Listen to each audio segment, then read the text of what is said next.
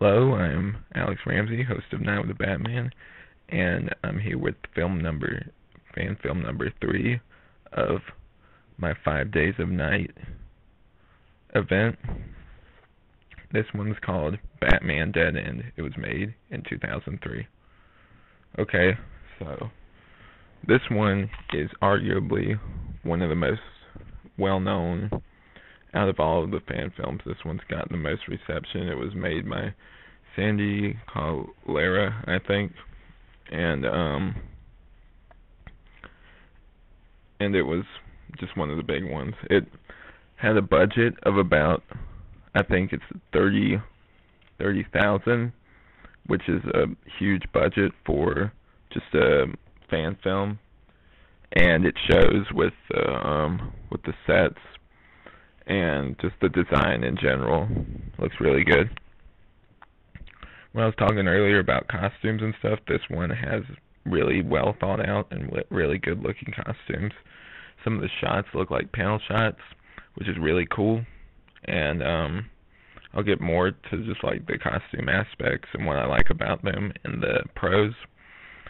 Um this was this fan film has is different from other ones, and that it's sort of like a mashup sort of thing, where it's not just Batman and the Joker or the DC characters; it's um, characters from other franchises. It features Alien and Predator in it, and it was inspired by Dark Horse comic books, um, which had two series. One was Batman Aliens, and the other one was Batman versus Predator, which I thought was pretty cool.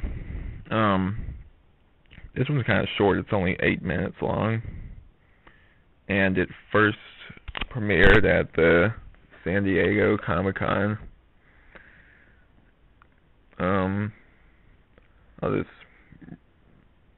I'll just go um straight to what the rest of the info on it.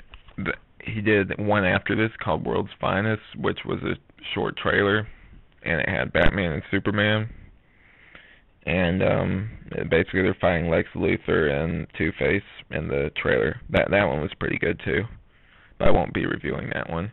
Um, just because of its length, it's just a trailer. I don't usually review trailers unless there's a, a certain aspect of it I think I can touch on.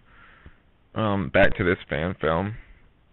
This was also originally designed as just like a an acting reel sort of thing, just to get studios interested in this director, and um, it succeeded. So, now that you guys know that, I'll um, just start with the general um, summary.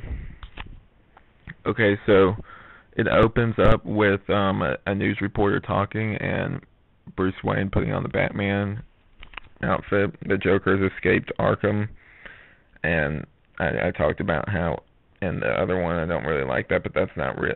And this, it's that's the only really cliche in this. The the rest is pretty original, and it's short too, so it's not as noticeable. Um,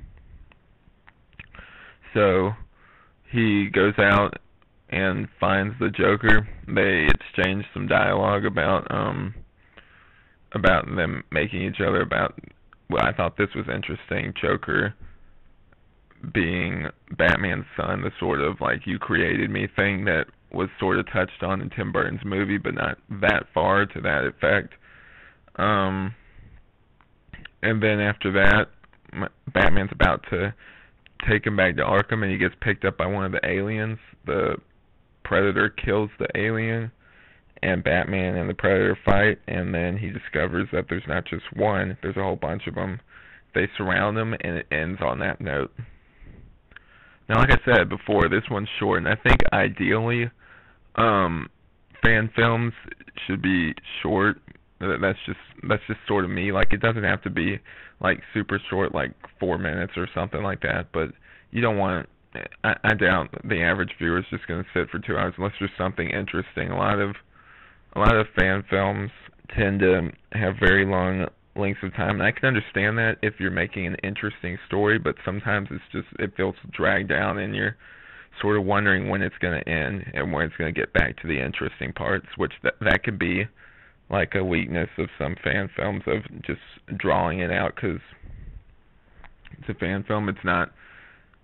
Um, I guess yeah, that's pretty much it. It's a fan film. It's made by fans. Sometimes it can drag out, and some of these writers, me included, sometimes I, I with this relating to me with the Crusader series, is that sometimes they can drag out a little bit because some writers that make these haven't fully learned the craft of just like cutting it down and making it flow more, which isn't really their fault. It's not really my fault either. It's just sort of a thing you which is why it's ideal to have these be shorter. Um. Yeah, so like I said earlier, they had a big budget and it really shows with the costumes, just like in the previous one. Um, I guess I'll go to the pros now. Okay, pros.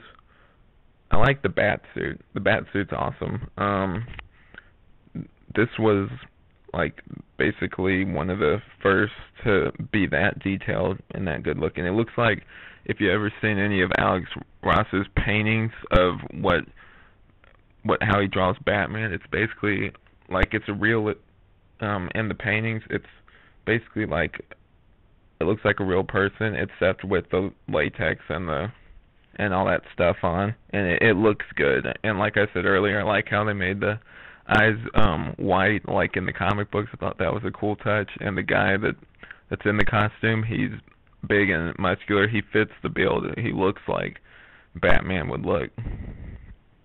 And also just acts like him. I like how in certain parts of this they have music from different sources, different Batman related things. One of the ones I picked up on immediately was that they used the Mask of the Phan- Phantasm theme and part of it when he lands and this is one of my favorite parts he stands up and like he's surrounded by this huge puddle he stands up and his cape sort of just moves with him sort of like a shadow moves through the darkness it's really cool and um yeah, I just like the overall costume design. This one obviously is not that fo- focused on plot and it's more focused on just the action, which I like too. Like when movies are like that. I like when they don't drag, especially a subject like this. I don't think that they could realistically and believably tell a, a serious story or like a in-depth like emotional story with this. I'm glad they just kept it the way it was. It's just like a straight up short action film, and it worked to its advantage. Um, yeah, I like how they also p- pulled music from Tim Burton's movies too in certain scenes. I thought the mashup of the different music made it feel much more like a Batman film. I like that. Um, the design on the on um the predator suits and also the aliens looked almost like movie quality. It looked like that the studios, and I think that maybe the studios that made them. I'm not, I'm not exactly sure. Might have made those suits because they look really good. Um, they use camera tricks and other stuff like that to make scenes look more realistic and make them look less fake, which I think is cool. And I think also with a limited budget, and this is limited compared to Hollywood, that they would have to pull tricks to make it look better than it is, more believable. I like that they do stuff like this, and I think this director clearly has promise. With I've seen other stuff by him, and they're really good. I can tell that he has like a heart for um for Batman that he knows what he's doing when he does stuff like that. The Batman suit looks great. I like Joker too in this. I like um even the crazy eyebrows they had on it. I dig those. I, I liked his just overall design. The actor that played him, I enjoyed too. He was. I liked his laugh. He um. He had those manic moments like the Joker would have, and then those serious moments like the Joker would have. It was a mix, like it should be. Um. I like that he was in a straight jacket too. We don't. We, that's like the Joker's second like costume if he's not wearing the normal purple outfit he's wearing that. I thought that was a nice touch. Um I liked how the the ending was just sort of ambiguous, how it just sort of ended there and it didn't show the result of that. I thought that was really cool. It was sort of like in comics how they do the to be continued, and I thought how it just just left on a cliffhanger was awesome. Um, even if it didn't continue, it was still cool. Um, yeah, just everything about this movie. It, it's it's really good for for what they have. It looks amazing, and um, the costumes look great too. And I can't find any cons with this. It was so short that that really all it showed was good. And I couldn't really find that much bad in it. The I mean, it is what it is. Basically, it's a it's a quick action short film with Batman in it, and it and it succeeds at being that. So there's not really much to complain about. Um, I guess if I were to rate this on a scale of one to five, I would rate it at a four. This film doesn't drag; it's very short and to the point, and I like the action, costume design, and just the overall mood and theme of it. I think it's really cool, and you guys should definitely, if you haven't already, check it out. All right, you guys, I'll see you next time. Um, I look forward to seeing you guys comment, like, subscribe. You guys are awesome. Thanks for the support you've been giving me, and you guys have a great day. Um, the next one I'll have up should be up in pretty soon. I'm sorry about how this one's taken a while to get up. I had uh, work over the weekend and and um that and I had to work nights. So usually I do these at night or during the late afternoon, and it just didn't work out that I could do it this weekend. But I'll make sure to have it up for you, the next one up for you guys pretty soon. All right, you guys have a great day, and uh, I guess I'll see you around. Bye.